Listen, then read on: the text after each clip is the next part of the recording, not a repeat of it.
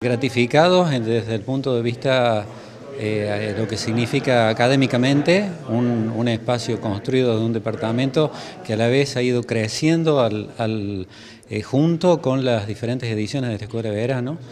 Eh, parte de ese crecimiento del departamento de computación tiene mucho que ver con la escuela de verano porque es un, un espacio en donde se vincula mucha gente, se realiza mucho intercambio eh, lo cual en este tiempo es una de las maneras más eficaces de mantenerse actualizado con una formación permanente y capacitación.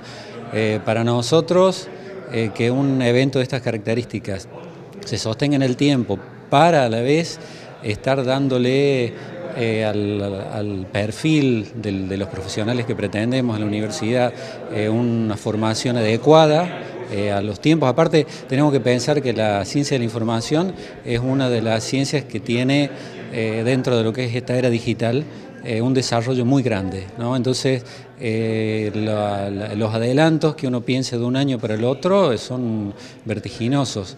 entonces, bueno, desde ese punto de vista, es como que es totalmente necesario este tipo de encuentros.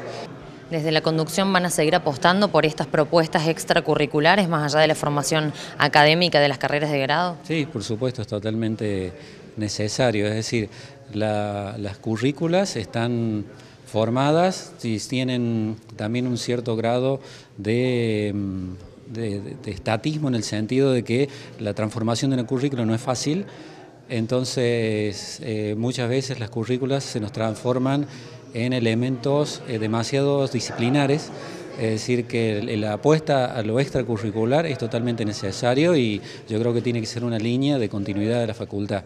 Es decir, no solamente en lo que puede ser, en este caso estamos ampliando el horizonte de una disciplina particular. Desde la facultad también hemos estado trabajando sobre líneas que abren hacia otras miradas de la formación de los sujetos.